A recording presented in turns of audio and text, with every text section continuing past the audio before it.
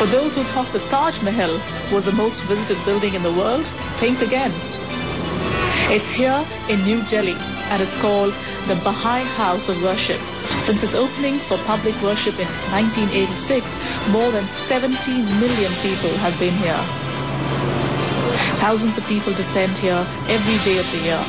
The record being 150,000 people in one day.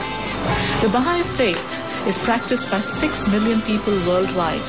But this house of worship is open to any religion, race, man, woman, the rich, or poor.